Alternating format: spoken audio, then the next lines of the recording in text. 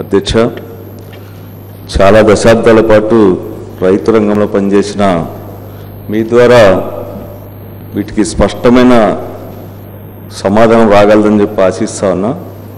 వాస్తవానికి మేము అడిగిన ప్రశ్నలకు సమాధానం ఇచ్చేటప్పుడు చాలా నిర్లక్ష్యంగా చెప్పినట్టుగా ఉంది. మొదటి ప్రశ్నకు మీరు ఏం చర్యలు తీసుకున్నారంటే పరిశీలించడం అయిందని చెప్పి చెప్పారు. ఇక మూడవ ప్రశ్నకు సి ప్రశ్నకైతే మేము అడిగింది సార్ బంగారంపై రుణాలు తీసుకున్న లబ్ధిదారులకు బ్యాంక్ నోటీసులు జారీ చేస్తున్నదన్న విషయం ప్రభుత్వ దృష్టికి వచ్చిందా అన్నాము. అయితే మాకిచ్చిన సమాధానంలో ప్రభుత్వ దృష్టికి తీసుకురావడం అయ్యిందా అన్నారు సార్. అయితే ఈ విషయంలో ప్రభుత్వం తీసుకున్న చర్యలు ఏమిటంటే లేదండి అని సమాధానం ఇచ్చారు సార్. మరి నిజంగా చాలా దురదృష్టకరమైనటువంటి విషయం. ఎందుకంటే గత ఎన్నికల్లో ప్రధానమైనటువంటి హామీ రుణమాఫీ అనేటువంటి హామీ ఆ హామీ మూలంగానే ఈరోజు టీడీపీ వారు అధికారంలోకి వచ్చారనేటువంటి విషయం కూడా అందరికీ తెలిసినటువంటి విషయమే. అయితే దీనికి సంబంధించి ప్రారంభం నుంచి కూడా ఇదొక ఏ విధంగా మోసం చేయాలా ఏ విధంగా రుణ ఖాతాలను తగ్గించాలా ఏ విధంగా ప్రయోజనాల్ని తగ్గించాలనేటువంటి వైపుగా ప్రభుత్వం ఆలోచిస్తూ ఉంది. అందుకనే దాదాపుగా కోటి పద్నాలుగు లక్షల ఖాతాలకు గాను దాదాపు తొంభై నాలుగు వేల తొమ్మిది నూట ముప్పై మూడు కోట్ల రూపాయలు ఉందని చెప్పి ప్రభుత్వమే చెప్పింది. వాటిలో పంట రుణాల కింద ఖాతాలు తొంభై మూడు లక్షల ఖాతాలకు అరవై ఏడు వేల కోట్ల రూపాయలు ఉందని చెప్పి ప్రభుత్వం ఇంతకు ముందు ఇచ్చినటువంటి సమాధానంలోనే ఉంది. వీటిలో యాభై నాలుగు లక్షల ఖాతాలకు మాత్రం ఏడు వేల నాలుగు వందల ముప్పై మూడు కోట్ల రూపాయలు ఇప్పటి వరకు కూడా రైతుల ఖాతాలకు జమ చేసినట్టుగా చెప్తా ఉన్నారు సార్.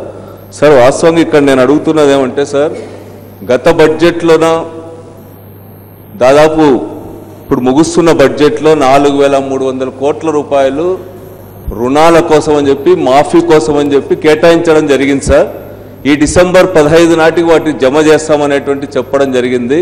కానీ ఈరోజు కొత్త బడ్జెట్ సమావేశం వస్తా ఉన్నా కూడా ఒక్క రూపాయి కూడా రెండవ విడతలో జమ చేయలేదు. అదేవిధంగా ఈరోజు వరకు కూడా దాదాపు ఐదు లక్షల ఖాతాలకు పైగా ఈరోజు ఫిర్యాదులు వస్తే వాటికి సంబంధించి సమాధానం ఏమనేటువంటిది కూడా ఈ రోజు వరకు కూడా లేదు. మొదటి విడత కింద కూడా నాలుగు దశలుగా మేము చేస్తామని చెప్పి చెప్పారు. ఇప్పటికీ మూడు దశలు మాత్రం చేశారు. నాలుగవ దశ కింద వచ్చినటువంటి ఫిర్యాదులు ఏమైనాయి? వాటిని ఎప్పట్లోగా చేస్తారు? వాటి దాదాపు ఆరు వందల కోట్ల రూపాయలు ఇవ్వాల్సినటువంటి అవసరం ఉంది. అంటే నాలుగు వేల మూడు వందల కోట్లు ప్లస్ ఆరు వందల కోట్లు దాదాపు ఐదు వేల కోట్ల రూపాయలకు పైగా ఇవ్వాల్సి ఉంది. సంవత్సరం గడుస్తా ఇవ్వడం లేదు. పైగా కేంద్రం నుంచి నిధులు రావాలనేటువంటి మాట చెప్పినట్టుగా మేము పత్రికల్లో చూసాం. మరి కేంద్రం వాళ్ళేమో మేము లక్ష నలభై వేల కోట్ల రూపాయలు ఇచ్చామని చెప్పి అమిత్ షా గారు చెప్తా ఉన్నారు. మన వాళ్ళేమో మాకు డబ్బులే రాలేదని చెప్పి చెప్తున్నారు మేము అడుగుతున్నది ఏమంటే రైతుల రుణమాఫీ వచ్చినప్పుడే మీకు డబ్బులు లేకుండా పోతున్నాయనేటువంటిది ఈ సందర్భంగా నేను అడుగుతున్నా సార్ గౌరవ మంత్రివర్యులు గారిని. అదేవిధంగా సార్ బంగారు రుణాలకు సంబంధించి సార్ ఇంత దారుణంగా సమాధానం చెప్తే ఎట్లా అని చెప్పి నేను అడుగుతా ఉన్నా సార్. పేపర్ చదివే ప్రతి ఒక్కరికి తెలుసు సార్. ప్రతిరోజు కూడా ఈ రోజు నిన్నటి రోజు ప్రతిరోజు కూడా బంగారు రుణాలు ఏలమేస్తున్నామని చెప్పి చెప్తా ఉన్నారు సార్. దాదాపు ముప్పై ఐదు వేల కోట్ల రూపాయలు బంగారు రుణాలు ఇవ్వడం జరిగింది సార్. ఆ రోజు ఇంటింటికి తిరిగి బంగారు మీరు తాకట్టు పెట్టండి మీ రుణాలన్నీ రద్దు అవుతాయని చెప్తే తాలిబొట్లతో సహా బంగారం తాకట్టు పెడితే ఈ రోజు వరకు కూడా బంగారు రుణాలు వేలం వేస్తూ ఉంటే విచ్చలవిడిగా బంగారానికి రేటు తగ్గడం వల్ల రెండు రూ- రెండు సంవత్సరాలు వడ్డీతో వాళ్ళు తీసుకున్న అప్పు దానికి బంగారానికి తక్కువ వస్తుందని చెప్పి విచ్చలవిడిగా వేలం వేస్తున్నా కూడా మా నోటీసుకు రాలేదని చెప్పడం ఏ విధంగా సరైంది అనేటువంటిది గౌరవ స్పీకర్ ద్వారా మంత్రి గారిని అడుగుతున్నా సార్. ఇంతవరకు కూడా నేను అడుగుతున్నా సార్ ఈ సందర్భంగా ఎన్ని టన్నుల బంగారాన్ని వేలం వేశారో చెప్పమంటున్నా సార్. ఈరోజు మీరు కరువు ప్రాంతాలుగా ప్రకటించినారు. కరువు నిబంధనావళి ప్రకారం వేలాలు పంట రుణాలు పంట రుణాల్లో భాగంగా తీసుకున్న బంగారు రుణాలు కానీ ఇతర రుణాలు కానీ ఏ విధంగా మీరు రద్దు చేస్తారు వేళ వేస్తారు అనేటువంటి దీన్ని ఆపాల్సినటువంటి అవసరం లేదా అని అడుగుతా ఉన్నా సార్.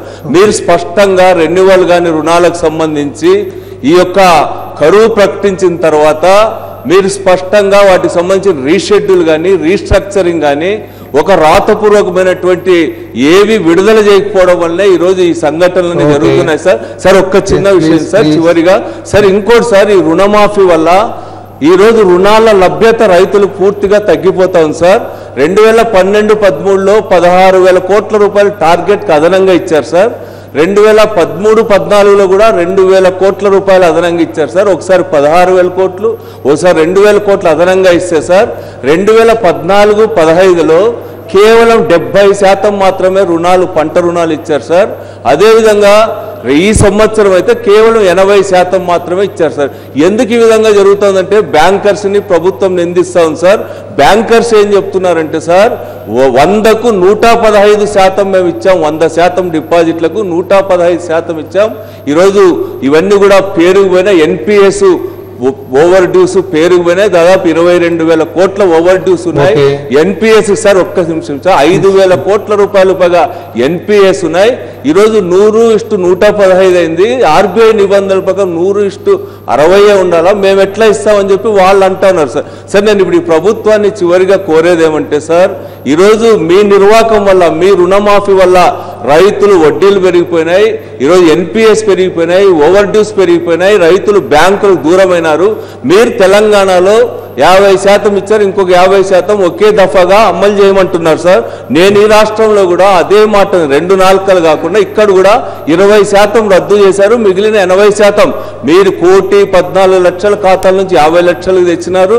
ఈరోజు తొంభై ఐదు వేల కోట్ల నుంచి ఇరవై నాలుగు వేల కోట్లు తెచ్చారు. కనీసం అదైనా ఒకే దఫా మీరు విడుదల చేస్తారా లేదా ఈ బడ్జెట్ లైనా పెడతారా లేదా అనేటువంటిది నేను అడుగుతున్నాను. సార్. సార్ బంగారు రుణాలకు సంబంధించి కూడా ఒక స్పష్టమైన నిర్ణయం. ఇప్పటికైనా ఆపివేయండి సార్.